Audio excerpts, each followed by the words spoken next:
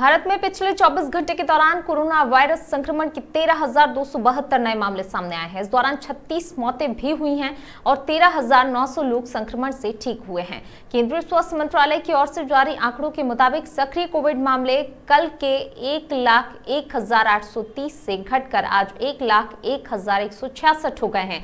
वहीं देश में अब तक कुल चार करोड़ तिरतालीस लाख सत्ताईस हज़ार आठ सौ नब्बे लोग संक्रमित हो चुके हैं। इनमें से चार करोड़ छत्तीस लाख निन्यानवे निन्यानवे ने वायरस को मात देने में कामयाबी हासिल की है। वहीं देश में कोरोना से मरने वालों की संख्या पाँच लाख सत्ताईस हज़ार दो सौ नवासी है।